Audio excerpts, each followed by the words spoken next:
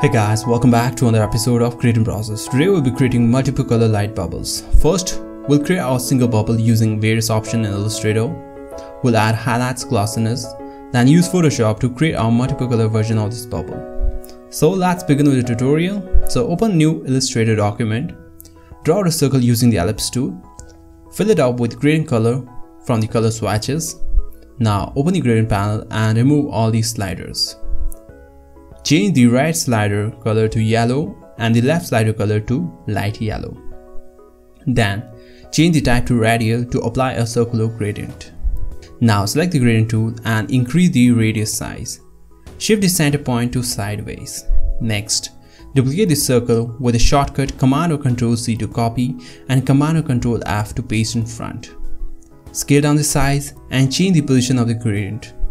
Now, we'll add details so duplicate the circle twice. Select the upper circle, shift it down and scale up the size. Place it near to the edge, leaving an arc. Select the top two circles and subtract it using the minus front option from the Pathfinder. This will leave us an arc shape, which can be used to show highlights. Adjust gradient color using the gradient tool. Change one of the slider to darker color and the other one to transparent adjust the direction of the gradient. In the same way, we'll create our under arc shape. Apply the same gradient color from the previous arc using the eye picker. Then adjust the direction of the gradient color using the gradient tool. Next, select the bottom circle and duplicate it. Remove the fill color and add the stroke color. Change the stroke color to yellow. Now using the scissor tool, cut the circle to several pieces. Give a cut to all the four corner points, then add a few more cuts with certain length on each arc. This will divide the circle into 8 pieces. Select all the small arcs and delete it.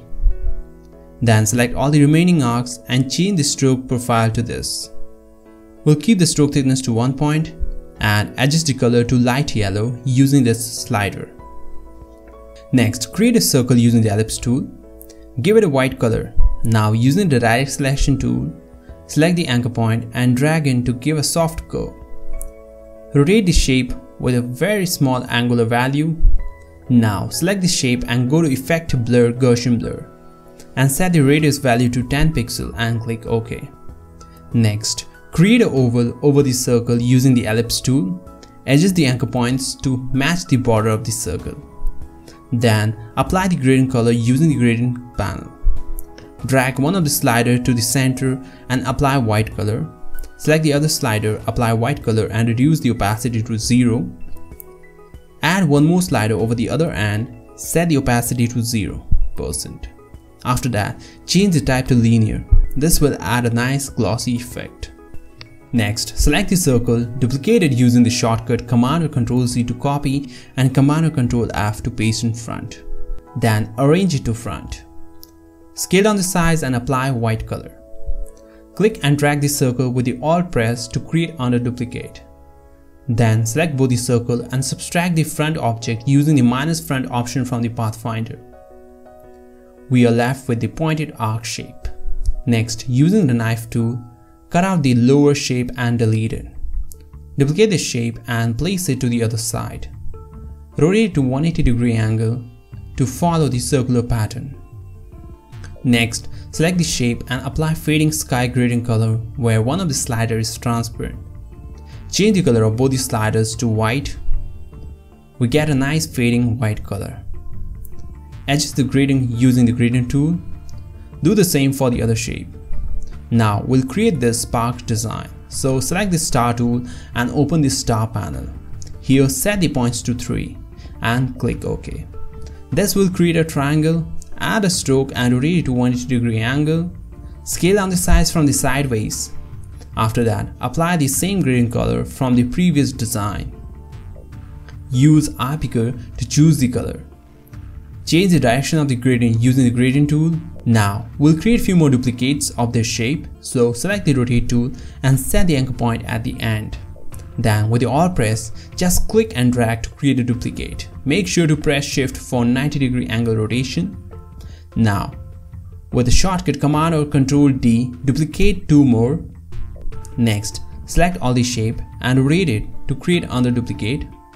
Scale it down and place it over the lower right corner and finally a light bubble is ready. Now we'll create multiple color bubbles in Photoshop. Select a bubble and drag and drop to new Photoshop document. Duplicate the layer. Now add a hue and saturation adjustment layer. First move the top bubble layer aside.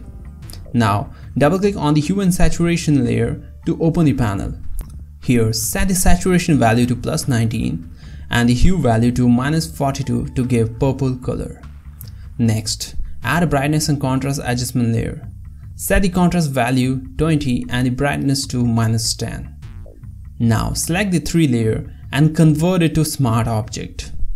In the same way, we'll duplicate one more layer and add the adjustment layers to achieve blue color.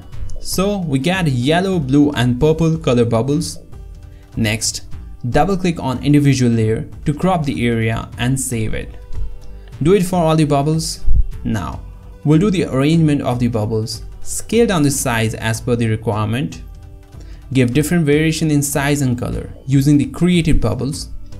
Also make sure that all the layers are in multiply mode to give transparency effect. Now select all the layers and convert to smart object. Next, we'll add a BG design. Add a new layer, select the round brush and choose light blue color. Apply it all over the area randomly using variable brush sizes. Reduce the layer opacity to around 30%. For the final touch-up, we'll apply Irish blur to the bubble layer. Adjust the size and the blur value. Finally, type out the text for the final design. So finally, we have completed designing this multiple color light bubbles. I hope you enjoyed the tutorial. Don't forget to check out the next tutorial coming up. And if you want more updates from the designing, don't forget to like, share and subscribe this channel. Thank you.